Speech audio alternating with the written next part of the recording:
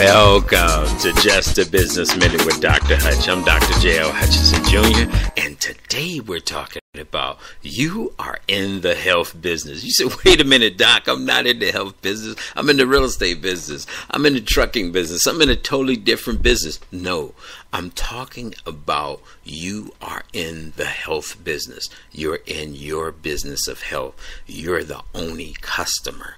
You are the consumer. The things you eat, the way you treat yourself, and how you're developing your body can affect your business. And I'm telling you, you are in the health business of making sure that your health is okay.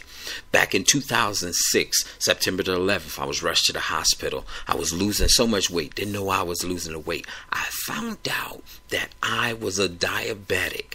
I had lost over a hundred pounds in a matter of two weeks. What was going on? What was happening? I had to become a person who paid attention to his health. So it put me in the health business, like it or not, you in that business. If you're over the age 30, 35 years old, you are in the health business. You have to monitor your, your health. You have to go see the doctor. You have to take care of yourself. It is important important because in order for your business to succeed, you need your physical ability, you need your conscious, you need your mind to be focused, and you most definitely need the energy to be able to be successful. You have just spent a business minute with Dr. Hutch.